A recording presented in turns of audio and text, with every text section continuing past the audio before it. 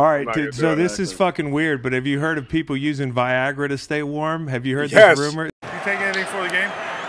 Yeah. Viagra. To be honest, I don't know of anyone on our team that does it. I think if that might be like a that might be like a personal decision that people kind of want to keep quiet.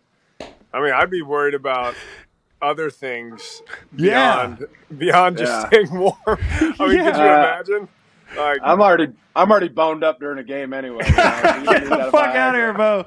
Bo, get out of yeah, here, whatever dude. you got to do to increase performance.